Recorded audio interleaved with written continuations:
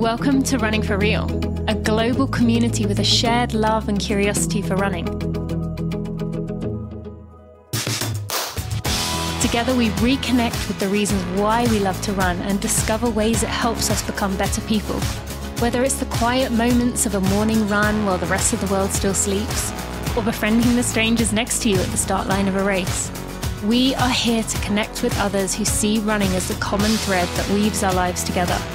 Come join me, Tina Muir, as I talk with people from all walks of life, united by a love of running. Hello, my friends. Welcome to episode 378 of the Running for Real podcast. As always, thank you for joining me. I'm excited that you are here. And I am so excited about my guest today. I'll be honest, I had heard people talk about him over the years, but I hadn't really got to know him. I looked him up in order in order to do this episode. I'd also seen he'd been on the Rich Roll podcast recently. Um, but wow, once I dove in, I felt like we were kindred spirits. We had uh very we jump in pretty quick, pretty deep in this conversation, but it was a really important and meaningful and I think you're going to get a lot out of this pretty quickly. So I just wanted to give you the heads up that we do go into kind of body image dysmorphia. If that is something that could upset you, just maybe have someone around or question whether uh, now is a good time to listen to that. Um, but today I'm very excited to bring Tim Tollefson onto the podcast. Tim has won Javelina 100, the Lavaredo Ultra Trail 120K, Ultra Trail Australia 100K, and was the last American male to podium at UTMB. Impressive ultra resume. You're going to hear he was a, a road and um, collegiate athlete before that. But so much more than that is just his honesty and his vulnerability so, without any further ado, let's get to this episode with Tim Tollefson. Friends, it is that time of year, the best time of year for runners. We get to enjoy the time as the weather cools, as we can get outside and make the most of working our way through the humid, hot summer getting to the best part of the year. One thing I want to remind you though this time of year, often runners forget to remain hydrated. We think, oh, the weather's cooling off, I don't need to think about that anymore, and that's just not true.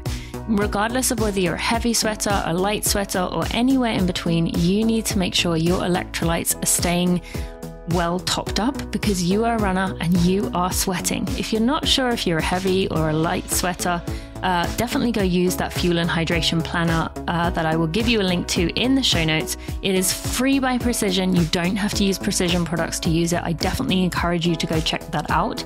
But I want to remind you this time of year, we got to continue being on our hydration. It's going to help your body recover. It's typically used by athletes to stay hydrated and recover faster after intense exercise. So if you have a goal race, you don't want to let it slip out of your hands now by not taking care of your hydration when you've done so well all summer. I love the pH 1500, but you may find uh, one of the other strengths works better for you. As a friend of mine, you can use code Tina sent me to get yourself 15% off. That's code Tina sent me, and that applies to the, the hydration, that applies to the gels, and all the other things that I have talked about and used in my races this year. So go to precisionhydration.com and use code Tina sent me.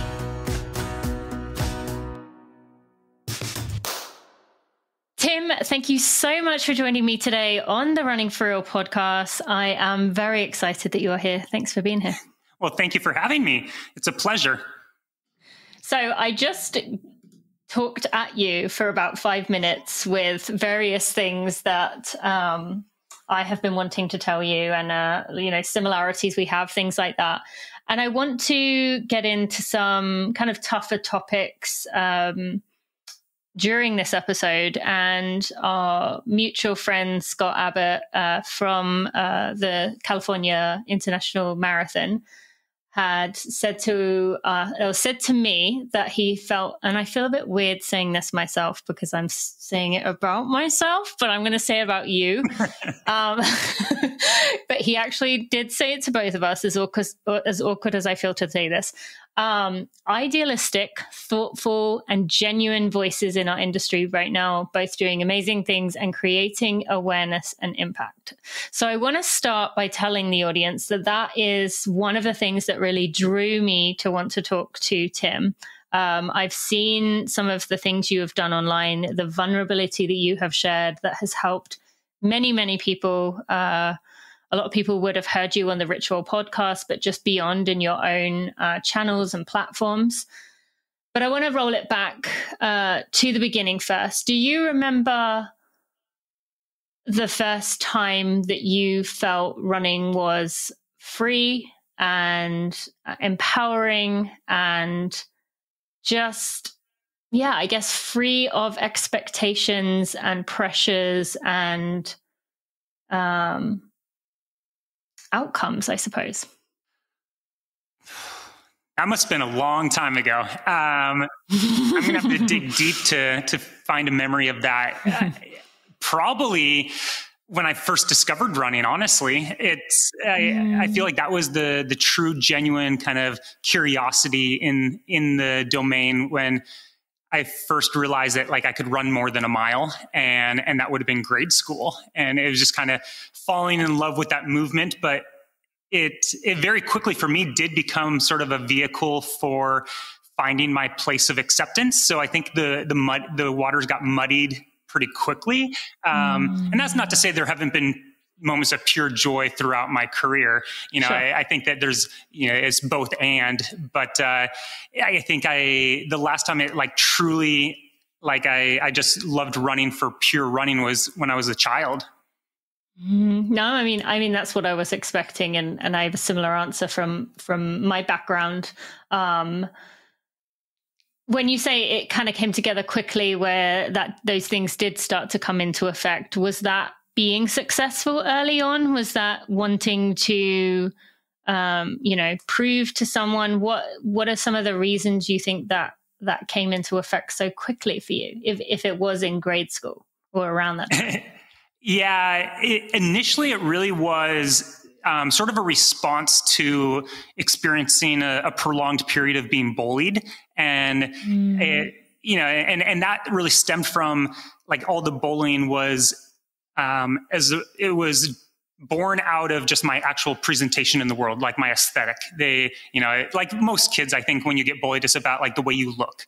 And so there were those early kind of um, like in implications that you know the way you show up in the world is really how you're going to be perceived and accepted into kind of a community or tribe and and after a long period of being on the short end of of you know receiving a lot of hurtful and harmful things, I I was able to display that like I had some value as a runner, and that kind of won the let's say the bullies over where suddenly i had something to give and i was sort of mm-hmm. accepted into kind of the athletic uh, domain if you will and and in that group were a lot of the people that had been kind of pushing me around so i think through just achievement it started kind of highlighting that oh like this this kid has something of value that we want and i think that kind of started to like muddy my view of what running and sport really had at an early age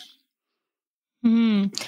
were you aware of that at the time no i I think I was more aware of it felt good to no longer be pushed around. Mm. And it, so it was more a sense of, hey, this this thing that I'm like really afraid of or like that's been hurting is now removed. And and I don't think I was really cognizant of you know like how I removed that, but it was more just like, hey, it's gone. Like let's just keep doing this. Mm. It uh, because it's so much more pleasant not to be on the receiving end of, of pain. And around that time when you were working your way through this, you kind of became to be accepted in the athletic circles. You were working your way through um, what was the beginning of a running career. Was the act of running itself still able to remain joyful, even if those pressures started to come in? I would say that it was probably for the like throughout my high school years. Okay. It was still joyful, and and I think for me, it probably like throughout high school is when I started to be introduced to a bit more to kind of the greater culture of running at the time. And this would have been the late 90s, um, early 2000s. And, and at that time, I think there was a big kind of overt culture of thin is fast. And, mm. you know, in, in a lot of the cult classic books or movies or the way athletes and teammates and people in the community would talk openly about things, it, it started to kind of like really plant seeds in my head that you know like to you be accepted or stay you know in this tribe like i needed to conform and you know look a certain way or show up a certain way. And i think that kind of piggybacks or it, it compounded off of the earlier experience of realizing that aesthetically like how i present myself is a, a big determinant if i will find acceptance and and so i think it sort of started to marry with the the rumors I was hearing in the sport. Um, and mm.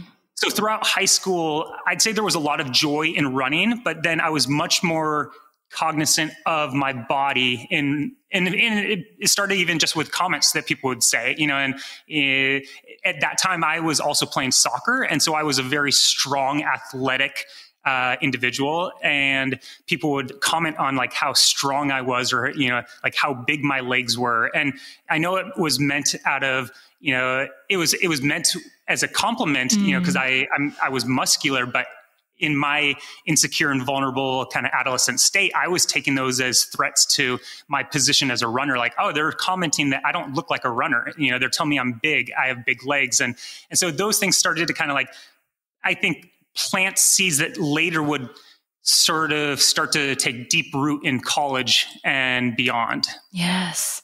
I had a conversation with uh, Jared Wood, who's a dear friend of mine, a few years ago, and he was saying that he's at times in his life really felt this pull where he can't really win in terms of society as a whole tells him as a man, you should be muscular, you should have a strong upper body.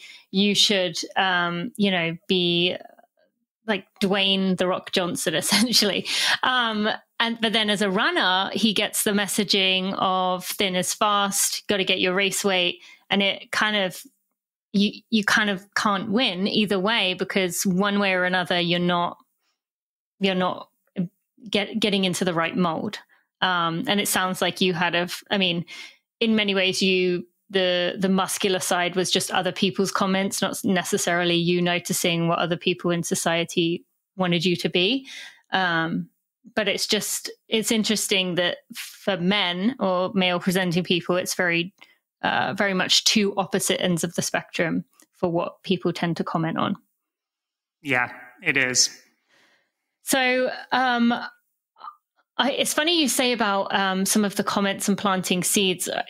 Planting seeds is a phrase I use all the time because I really think that's a lot of what what comes up later for us in you know in our lives and even seeds we plant today will come affect us in 10 15 20 years from now um, but I, I similarly i remember i've shared this story a few times i remember being on the bus to the national championships and the girl sitting next to me was uh, she ended up finishing i don't know like second or fifth or somewhere around there. She's right at the top.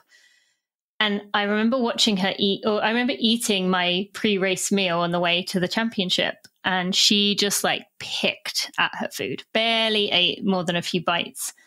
And then she won. And i remember for a split uh, like well in that moment i thought god that's weird like in my brain it was kind of a mathematic equation of how do you run if you don't eat to run. But then watching her do well, I thought, huh, well, that's weird because she didn't eat much and she did really well. And so that was a seed, I think, in me that was a similar thing of like, oh, fast people, that's how that's how they do it. Um, mm-hmm. And and you never know with those memories um, or those moments, like how they're going to come and get you later in life.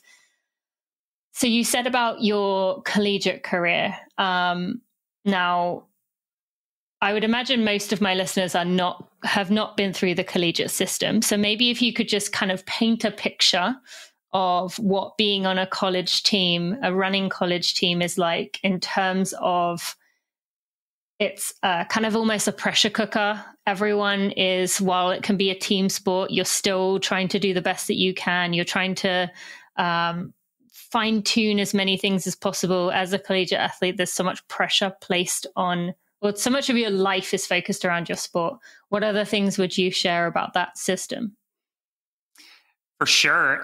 And I think it's also at like that ripe age of you, mm. you're 18 to 22 where you're really just under like finding out a lot about yourself but the comparison trap is is massive you know you're you're surrounded by very similar men and women that have similar goals and it's easy to just fall into that what you were describing like oh well this this girl ended up winning and she did something leading up to it. That so that must have been a reason for why she she did well. And so we draw a lot of uh, you know inaccurate conclusions. Mm. and i think with the lack of like really good guidance it can uh, allow us to basically write stories in our own head that are not true but we just start to double down on them feeling as though there is truth to it and mm.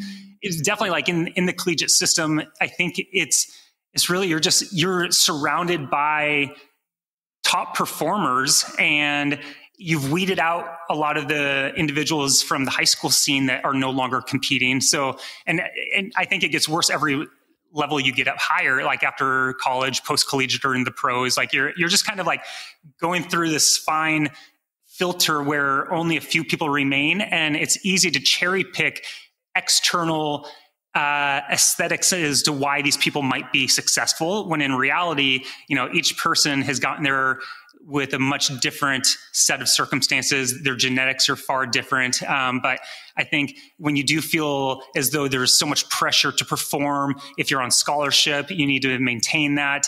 You know, there the universities, you know, they really are depending on you. There's a lot of stories that you can kind of end up telling yourself, and and it feels like it's this is your one chance. You know that it's you have four years or five years to make something of yourself, and if you don't do it now, you'll never get it again. And you know, I think it's just it, it's like I mean, it's analogous to saying, hey.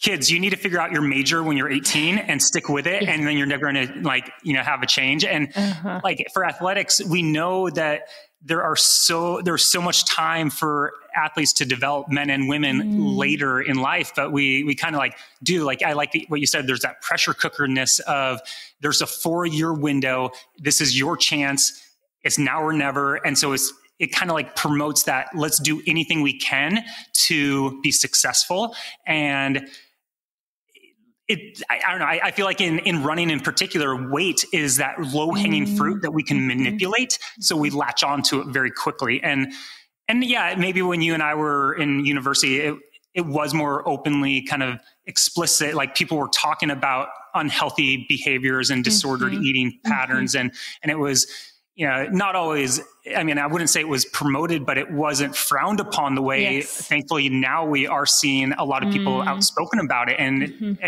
acknowledging that you don't need to change your body to be successful at sport. You know, through adaptation of taking care of your body, you will be able to perform well at sport. But I think, like I connected the dots that no, I need to change my body to be successful in this sport. And and then as you start to get little bits of success, you double down because it's like, well, if a little is good, more is better. And but then there's there's especially with our health, there's a major tipping point there. And often by the time you realize what you're doing, it's too late in the sense of like mm-hmm. that state, that that one kind of state of your life. Not that, you know, globally it doesn't mean that everything is ruined, but it, it can really catch up to you very quickly.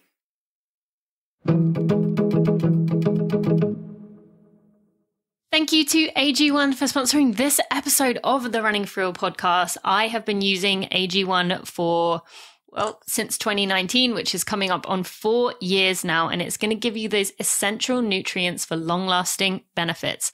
I have been using this for many years, and especially right now with a book tour, with all these things I have going on in my life, my AG1 has been a critical piece of taking care of my gut health, giving me focus and energy to help me with healthy aging and my immune health. I love that it is one scoop. in uh, some water every morning. It is the first thing I do that's going to give me 75 high quality vitamins, minerals, and whole food source nutrients. It's that comprehensive nutrition in one simple scoop uh, it is a ritual that I have every morning. I wake up, that's the first thing I do, and I know that it takes care of me. So it's so much more than just taking greens, as you might hear other things talk about. It's going to give you that comprehensive blend of core health products that are going to work together to fill in your gaps. So for me right now, with two young kids and this hectic schedule, I am missing out on some nutrients. And this is where I know I'm taking care of myself in that way. So as a friend of mine, you can get a one year free supply of vitamin D3 plus K2 by going to drinkag1.com forward slash Tina. That's drinkag1.com forward slash Tina. It is going to make it so that you have one thing to take. It will take care of you. It'll be there for you. You can take it on the go. We're going to give you that five free travel packs when you go to drinkag1.com forward slash Tina. I've been loving it for years. And those of you who, um, have been signed up for a while would have seen that you got a goodie recently. Anyone who was uh, an AG1 user when my book came out will know that you got a copy of the book as a gift from AG1, and that just speaks to the kind of people they are. They care, they care about you, they care about me, and they care about the world. So go check it out at drinkag1.com forward slash Tina.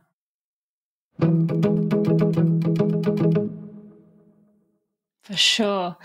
And it, I'm, I'm glad you explained that a bit more because it is quite hard to describe the collegiate system when you haven't been through it. And and yes, as you said, things have have changed a little since then. And um, it's funny when you were saying about you know you have the your four or five years to really make something of yourself like the the song "Lose Yourself" is kind of the anthem of of every collegiate athlete because it kind of feels like that, right? You've got mm-hmm. your one shot to get it right, uh, even though you know in theory you've got four or five years, but still it feels so serious and intense. Um, and then and then as you said with the body type like uh, you know my listeners know this that it was uh, a comment from a coach that sent me down a spiraling path that kind of ultimately led to uh, as i told you before we started recording me quitting the sport uh, a collegiate coach. But um, and again it's those seeds that are planted right and how they can you know grow over the years. Um, but also the association within the collegiate world that can still be this way and still within the, the high school level certainly of um, you know uh, interchangeably using the words fast and fit um, and how there really many coaches see that there isn't a difference.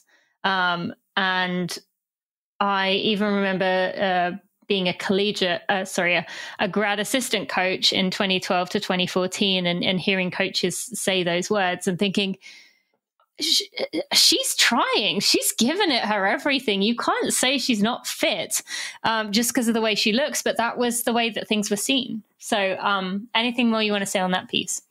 Oh, for sure. And I mean, that resonates very deeply where I, and, and these seeds that you're talking about, like they take deep root and then they start to like unfortunately flourish into something that strangles your confidence or your self-worth or your ability to be proud of what you're doing because these maladapted seeds are basically kind of like starving you of mm. of that you know kind of self-acceptance and i've had that even in my pro ultra career where I, despite maybe having the best training block of my life, and I know I am ready for the race, I've been in a situation at a press conference where a journalist or someone will comment on the runner next to me that, man, you look really fit. Yes. And my brain goes back to this, oh, fit means thin. Mm. And they didn't say that about me. And suddenly my confidence just tanks and mm. and that it you know i've been able to work through that a lot better but it just highlight like and i remember that even in in high school and college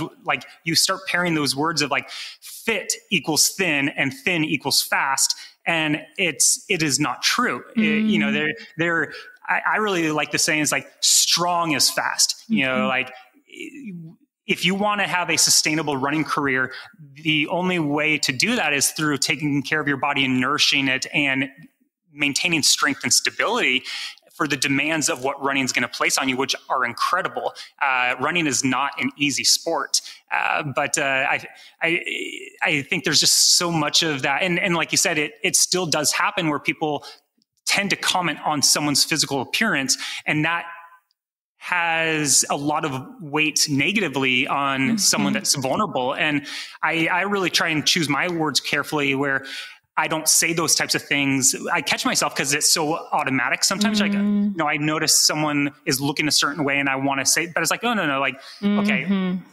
like they're they are ready because they put in the work. They are ready because they are healthy. They are ready because they're excited about this opportunity, not because how they've shown up aesthetically, like outwardly. Yeah, a few months ago, actually, I was at a race that I ran um, as as an elite, and the race director, like I hadn't seen him in a long time, and he said, "You're looking fit."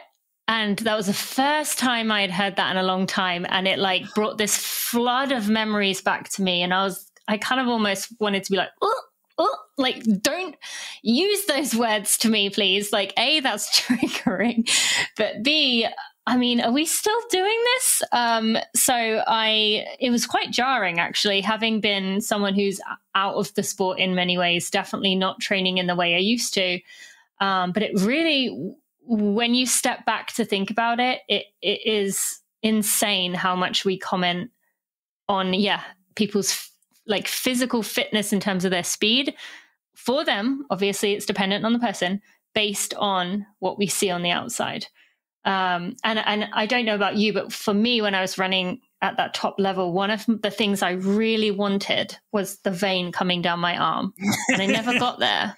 But that was something I always was like, that's how I know I'm fit. Yeah. When yep. in reality, my body was never going to do that, and uh-huh. um, just trying to get there is what what killed me. And and much to what you said, as I I walked into the professional world the number on the scale that I was working towards kept getting lower. And every time I got there, it was like, great, on to the next number.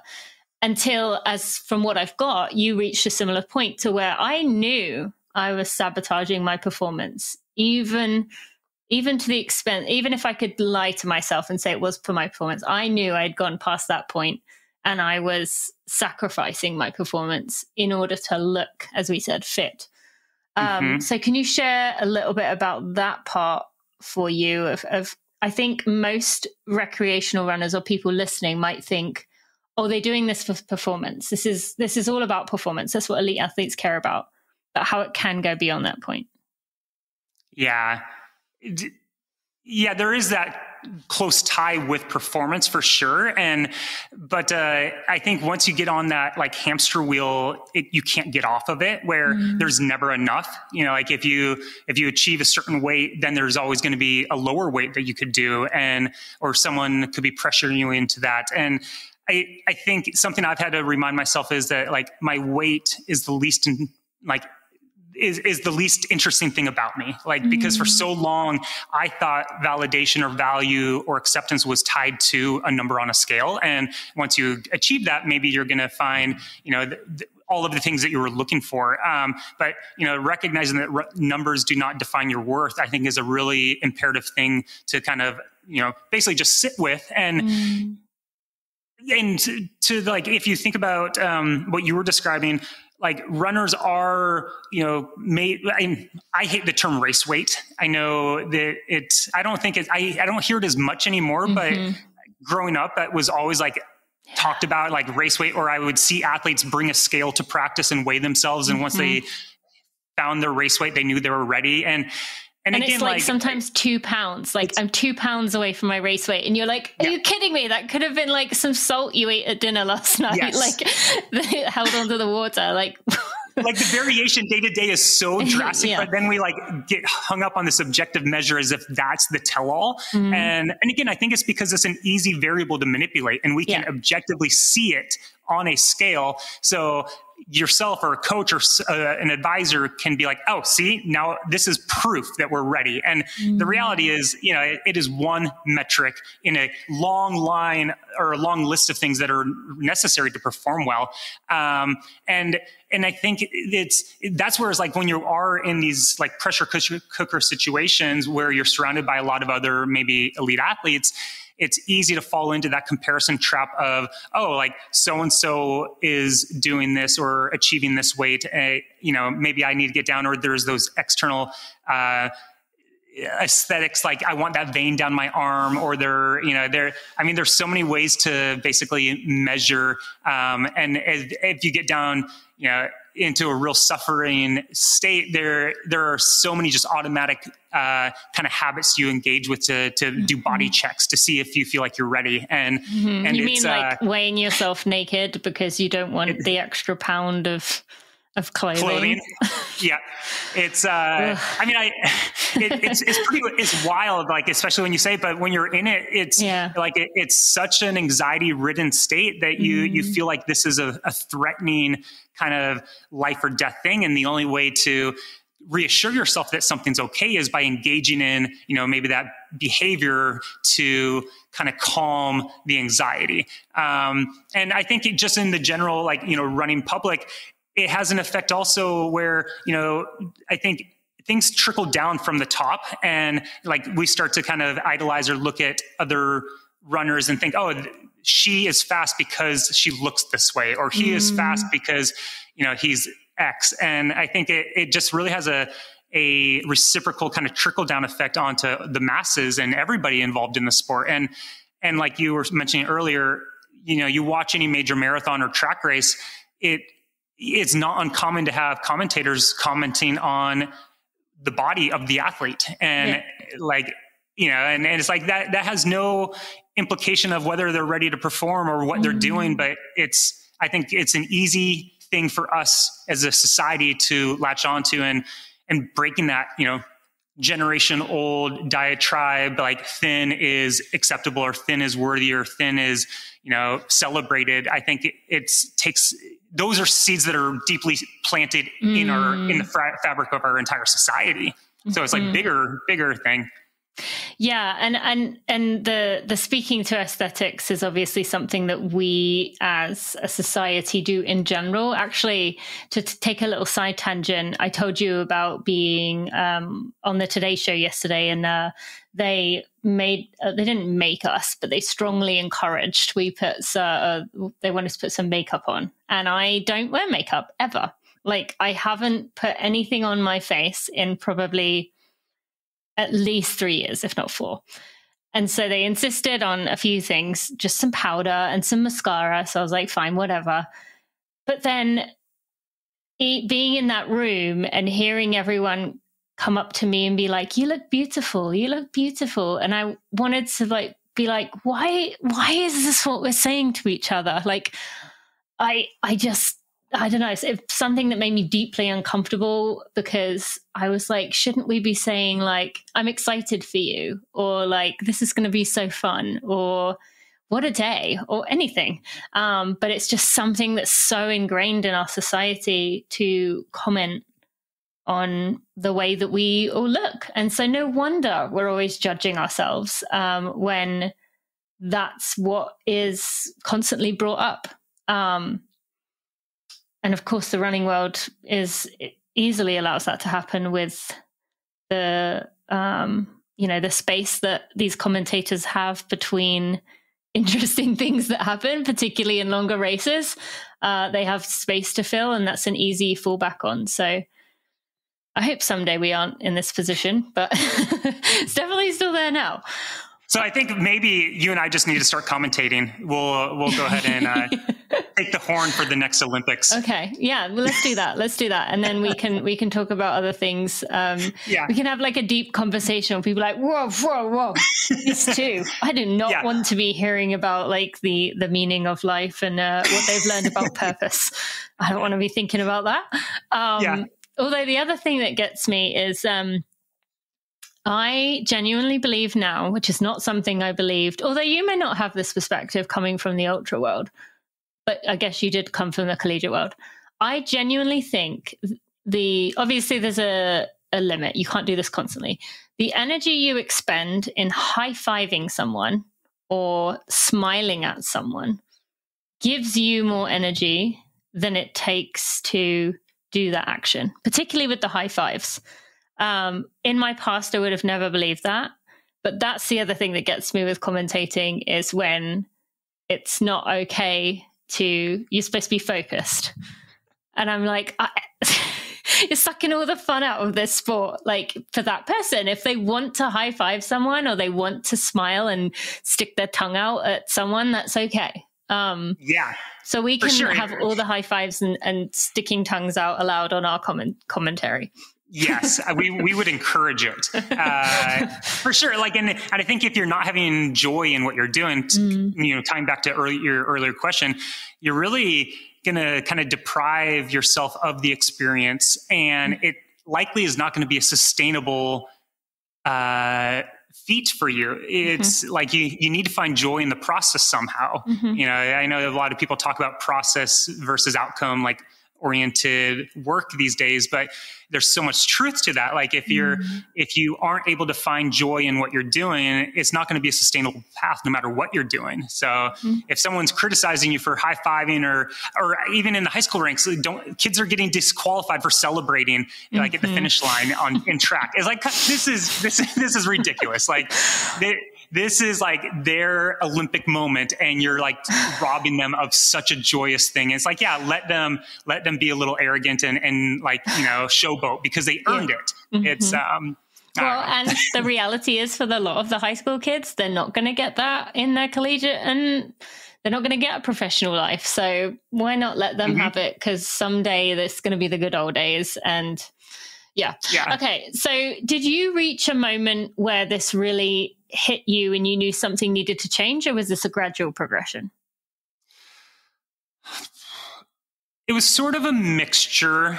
Mm-hmm. Like throughout college, I knew I was doing things that were inappropriate and like I, I and I even saw a point where like I I was you know starving myself to try to perform and it basically became like my fourth season in college, I was getting injured all the time. Mm-hmm. I wasn't making it to the end of this season.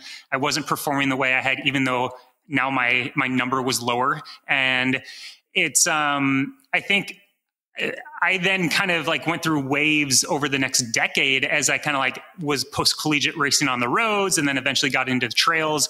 Um, where there wasn't like a particular rock bottom or any like sort of moment where I was like, oh God, like this is like like there wasn't a single instance, but I, I actually got to the point where a lot of this stuff was bleeding over from my athletic career into just daily life where I was feeling mm-hmm. suffocated and I wasn't able to be present or show up at work or in relationships. And it just got to a point where I was really drowning in my own thoughts and I could not not fixate on food and calories and the way my body looked. And it like I just saw relationships starting to deteriorate, uh, and I started to scare myself. I didn't see a future. It's like, and and at that time, I I had lost a friend um, to suicide, and then mm. a few friends to the mountains, and I really just started to kind of scare myself that like I don't see a future living this way in my head. And that was what really pushed me to finally asking for help and, and reaching out and trying to, you know, figure out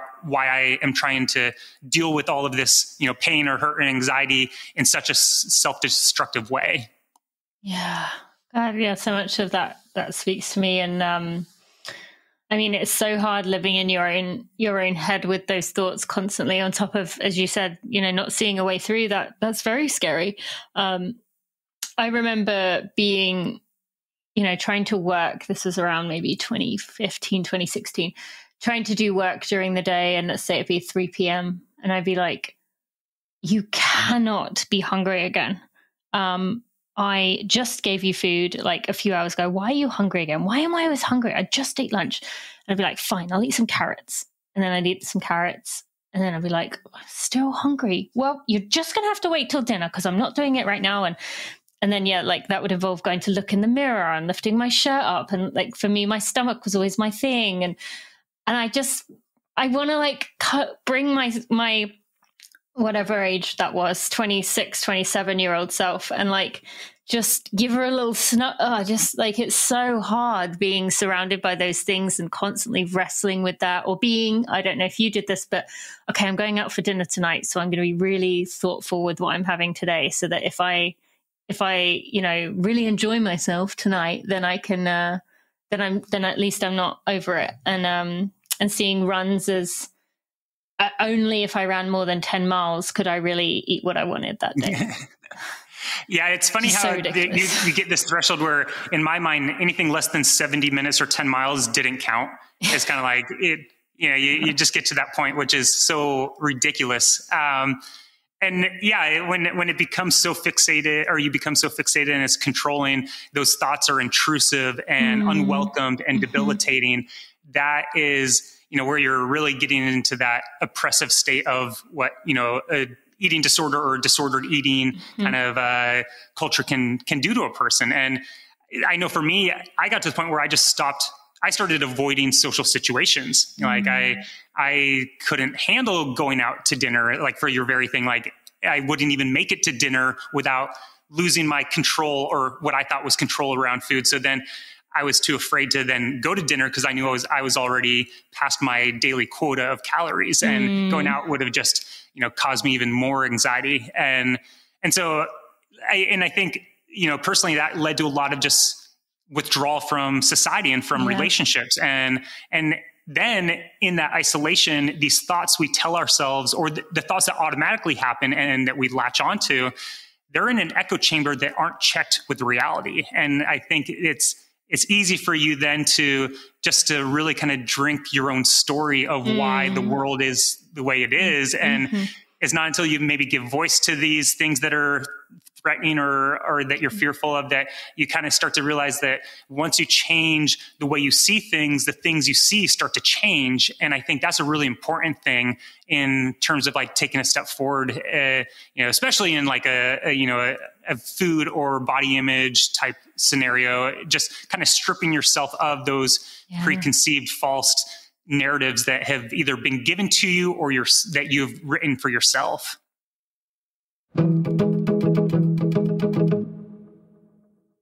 Thank you to Allbirds for sponsoring this episode of the Running for Real podcast and for supporting me in my journey. Today, I want to talk to you about the Women's Tree Dasher 2.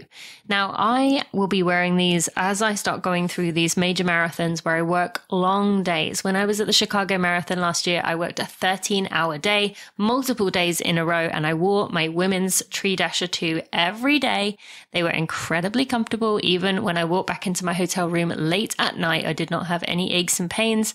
I love the amount of colors that they come in. Um, my favorite is definitely the Calm Cargo, which is kind of like a greeny colored. Um, as you know, I, I, do love green as it is a naturey color. Um, they are very comfortable. They have great stability. And of course, as is Allbirds, they are passionate environmentally. They are doing the work. They are a B Corp and a highly rated B Corp at that. So that means they are doing what they need to do to be an environmentally sustainable company and relentlessly sticking to that. And so I encourage you to go check out the Tree Dashers if you have something for work a work job that allows you to wear a pair of trainers or just for traveling, for when you're on your feet for a lot of time, or just day to day. You will often see me wearing these shoes. They are my go to. And if you go to allbirds.com, you can go check them out. And also, if you lo- use the link in the show notes, you can get yourself a free pair of socks with your order when you add those to your cart using that link in the show notes. Go check it out at allbirds.com.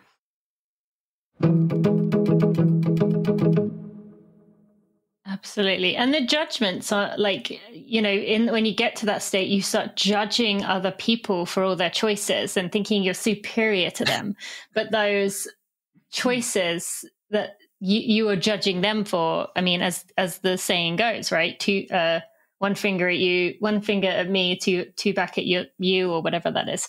Um, and that's kind of the way it is, right? Like we're we're judging other people for not making like healthy choices or taking care of your body, and you tell yourself these stories about why you're making the right choices and they're making the wrong ones, but really that just is more and more judgment on yourself. I want to move to what I I, I want to um, save some room for some other things here. So, what does running look like in this? Uh, maybe you go by chapters, maybe not. This Tim 2.0, this chapter 87 or wherever you are in your uh, chapter of life. Um, or maybe you do it the other way. You're like chapter seven. Um, what what is what is running and your relationship to it look like now? It's changed quite drastically over the last two years, and and a big focus or a big a big thing that has shifted is sort of my my desire to share the sport and the journey with other people and like give my time back to the sport and to the people involved so I think there's an active service and sort of community building that has really driven me. And you are and selling my that, book right now. uh, really? Okay. So everything you talked send, about today. So thank you. Send, send me a copy, and I, I will. Uh, I will. I'll go ahead and start endorsing it. Um, continue. Continue. um, well, thank you for writing my book for me. It's. Uh, yeah, we'll scra- I'll um, scratch out uh, and Zoe and Tina and put an extra yeah. and in there. Um. And I, I think it is. There's just some like there's beauty in in taking the focus off of yourself and mm. putting it onto someone else, and that in turn has allowed me to enjoy running again for the first time in in decades. I would say, like, mm. truly enjoy it. Where I I mean, running, as you mentioned, running was such a tool I had that was being used to manipulate my body or my food choices or try and acquire some status or acceptance or you know love in a in a perceived tribe that I was chasing and and then I would find that if I didn't have a race on the calendar if I didn't if I was injured I felt like I was hopeless. There was like no reason for like I wasn't going to run if I couldn't do these things. So I started mm. recognizing like my why that was driving everything was not sustainable. It wasn't a a healthy why to build a foundation of love for the sport on. And and so like now as i kind of like shift that focus towards like serving our community or offering opportunities for people to do things that i had the fortune to do it's allowed me to really re fall in love with running and appreciate what a gift running is. Mm-hmm. Because just the act of running is a gift. And for so many years I took that for granted. And I think just falling back in love with that process has been a, a, a joy. And, but I, at the same time, I find myself battling this thought that I've given up on my athletic aspirations myself mm. personally, because those, those seeds that were planted as an adolescent and like nurtured inappropriately for so many years are still there. And I have a hard time battling the thought that oh if i am not counting my calories or if i'm not weighing myself do i even care about eh, like elite performance? And and i know the answer is of course i do but i have to challenge these automatic deep seated beliefs that i hold. And and and that's been a struggle but it's something that i also am looking towards as a challenge that i think that as i confront those those you know little mini demons that i have it will allow me to then probably self actualize and get the most out of what I have in the remaining year or two of my like pro career that I think I still have. And and uh, so that that fills me with hope that there's still something out there to chase. But mm. it's it's really just kind of redefining my relationship with the sport, which you know after being in it for 20 plus years, it's it's a weird thing to kind of tackle. And it's uh, but I guess you know you know you're never too young to make make a change or make an effort. So.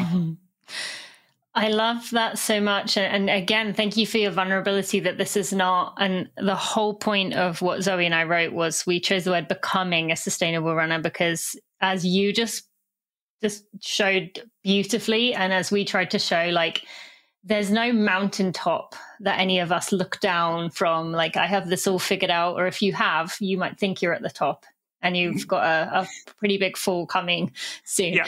um, and so thank you for sharing that like there that is something you still struggle with. And i struggled with that for many years. I actually really remember uh, in 2021 i was guiding for a visually impaired runner. Oh no i wasn't that year actually. I was just running it to run it uh, the new york marathon. And i saw grayson murphy outside the hotel. And she was like mm-hmm. oh hey how are you doing? And i was like oh i'm good. Um, and she was like oh are you racing? And i was like uh, I, I, mean, I'm I'm running, and I felt so uncomfortable.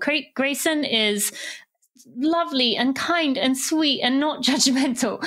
but like in my head, I was like, oh, she's thinking like, what a waste of like, what a waste of a race. You, mm-hmm. you, you know, like I just, I was judging myself through her eyes, even though I had no idea what she was thinking. Yeah. And actually, I could tell she was just like, that's amazing.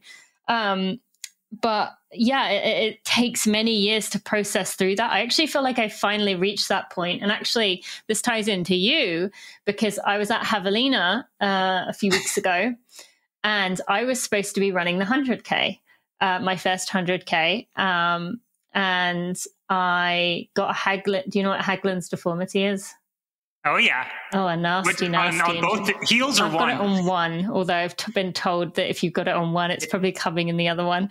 Eh, okay, Tina, have you been wearing super shoes? No, I will never wear a pair of those shoes ever. I am very, very against them. We Why? could have a separate podcast on that. Like, yes, we need I, to talk I, about I, that piece. Yeah. Have you had Haglunds? Or you have Haglunds? I have not, but I, I've worked with a lot of patients that have, and we're seeing it more and more in the last couple in of years. Super yeah. shoes? Yeah. Oh, interesting. Well, that's not good, is it? All right. Well, now I have another thing to push people off buying super shoes. yeah. um, but I got a Haglund's deformity, and uh. for the last three or four months, I averaged about 25 miles a week, which I haven't averaged even with my time off when I quit, even with my two pregnancies and postpartums. I have not done since I was 15 years old. And I stood on uh, when I watched the 100 milers go. I was crewing Ryan. I felt so proud of Ryan and all he'd worked mm. through to be there. And then I watched the 100K go. And I, uh, Rachel Norfleet, I was also, you know, she was in the same tent as us, a friend of mine. I just felt pride, proud for her. I felt pride for her. I did not feel like, oh, what a waste. Oh, I should be out there oh, I wish I was running more. And I've really feel like for me, I finally reached that place of peace of like, mm. I can be running 30 miles a week and I'm okay with it, which I wish I was running more. I look forward to getting back to two to three hour trail runs, but it feels good to be like, if I can run hard, if I can train hard, great. If I can't, it is what it is. So um, that's yeah, that's so beautiful, and yeah, I mean that just that speaks to your level of self comfort, mm-hmm. acceptance, and mm-hmm. self peace that you've granted yourself, mm-hmm. and and I mm-hmm. think that's a, a beautiful way of highlighting that that state is something we should strive for mm. more than like achieving a shiny PR or mm-hmm. you know mm-hmm. BQ. I I don't know. Like if you can't celebrate in other people's success, I think it speaks a lot to where you are personally mm-hmm. and probably some insecurity that is you know that you should probably face where yes. someone else's you know achievement isn't at odds with your ability to to do something like Absolutely. it's not mutually exclusive and i know i was i I had similar things just in the last year, like watching Western States last year, mm-hmm.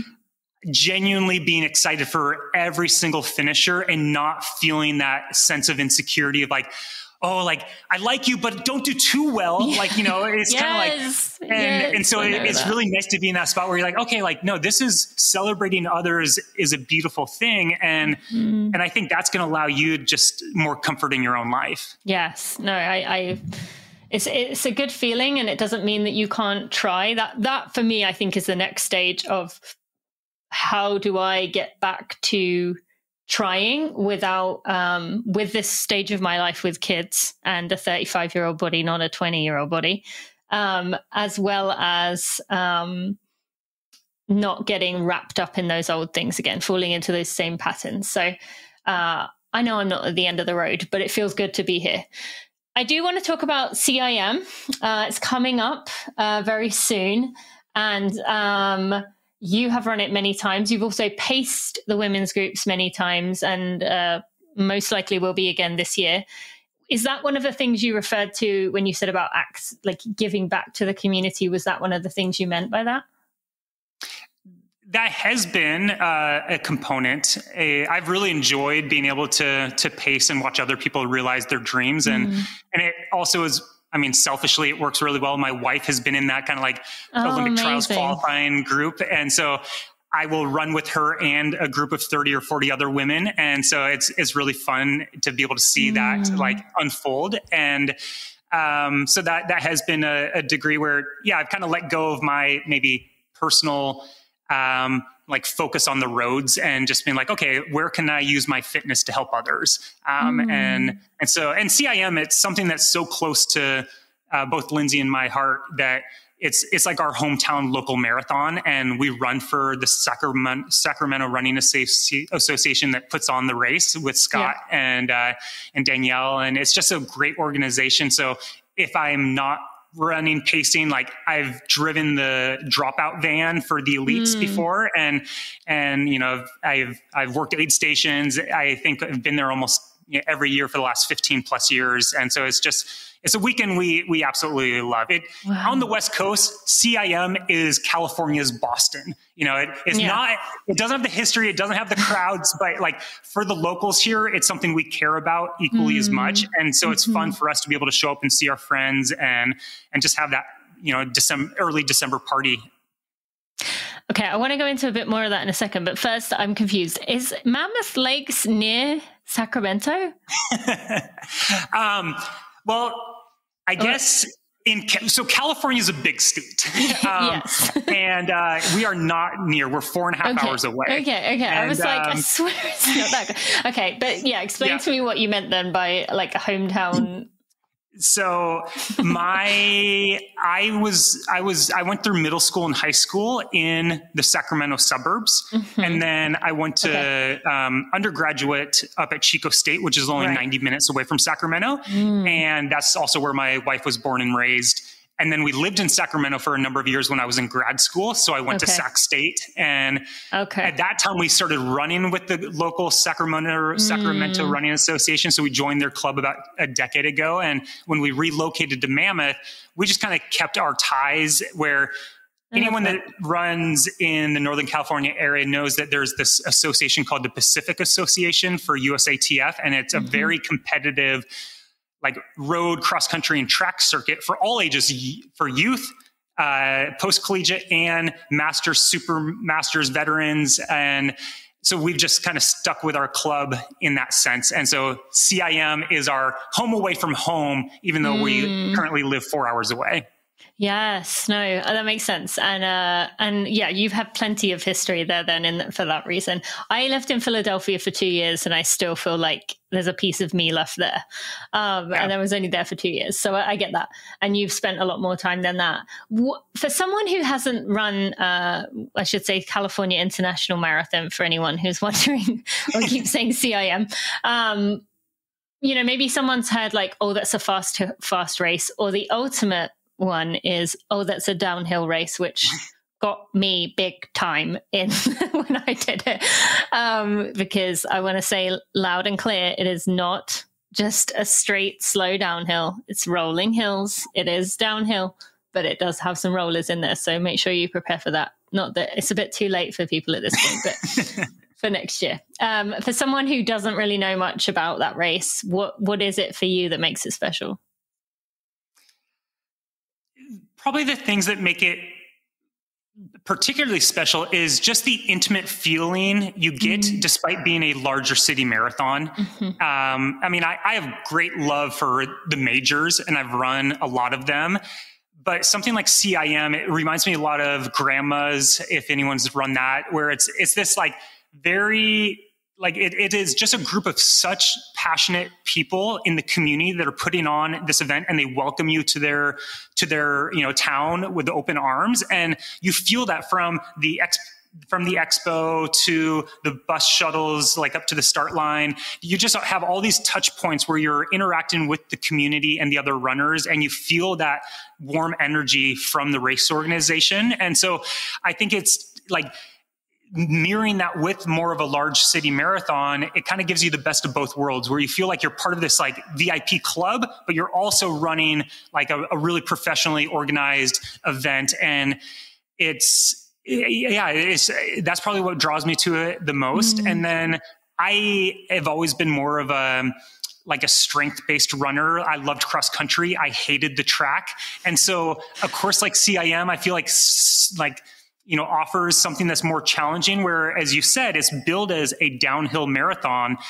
But if you look at the course profile, it's kind of like a depth of 10,000 cuts. There are all these mm. little rollers, and those mm-hmm. rollers really get you. And and they're even more than rollers. There's some like proper hills mm-hmm, out there. Mm-hmm. And if you're expecting that it's just going to be downhill for 26 miles, you'll be rudely awakened when your hamstrings and quads are shot you know, with six yes. with 10k to go, and you can't yes. run the pancake flat finish line for four miles. Mm-hmm. Um, and um, and so I, I, just like how it you know it feels like you're on a little roller coaster the whole way. Like you know, it uses your body in different ways. It you run through a bunch of little communities, and the the fan support is fantastic. So I think it's just it, it's something close to my heart. And and then also I've run, I have run my best times there. And so yeah, me too. that that always that always feels good. Like you have good memories about it. Um, but uh, yeah I don't know. I, I think it's it's one of the like best marathons in the country for sure. Mm, absolutely. I love that. Thank you for sharing that.